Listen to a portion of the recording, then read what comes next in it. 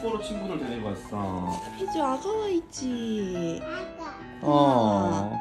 뽀뽀로 친구를 다와 있네. 아가가 뽀뽀로. 에디다 에디. 피주 음. 아가는 어때? 아가.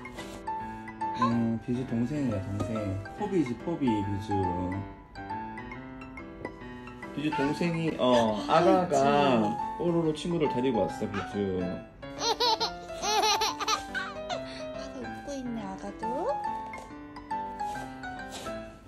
루피지 비주. 음 뽀뽀 뽀뽀로 뽀뽀 뽀뽀로. 반대편에 가서 봐봐. 쫄로 가서 봐봐. 그쪽으로 갈 거야? 음 비주 아가 조심해서. 아가 조심. 음.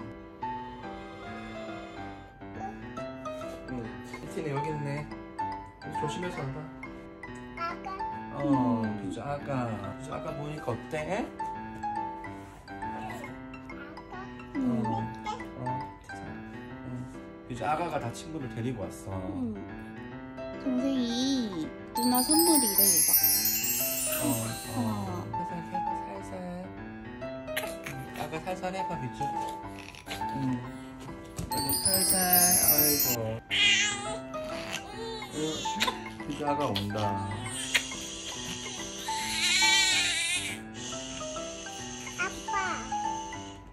음, 살살 쓰다듬어 줘봐.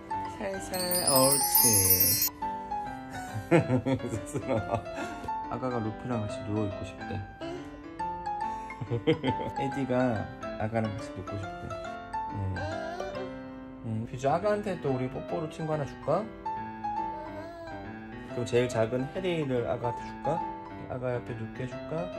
잠깐만 눕게 해주자. 앞으로 동생이랑 잘 지내보자. 아가랑 우리는 다 같은 가족이야. 응, 아가. 루피가 동생 뒤에 눕고 싶대. 어, 알았어. 루피는 아빠 하고 있을게. 그럼 아가랑 잘 지내보자.